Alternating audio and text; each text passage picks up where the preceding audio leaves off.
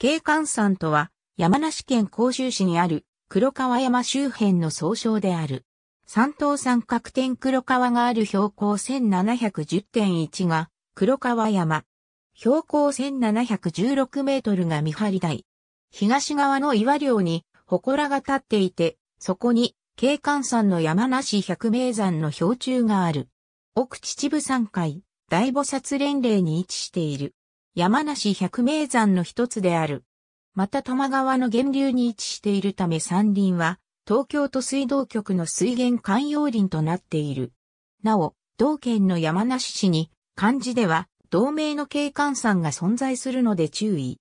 景観山の山腹には中世後期に最盛期があった金山が存在していた。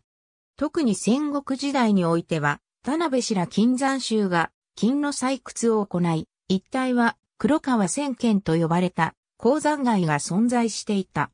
景観山の北東岩峰には景観神社の奥宮が存在し、黒川金山の最盛期と同時期の神ながら像が伝わっている。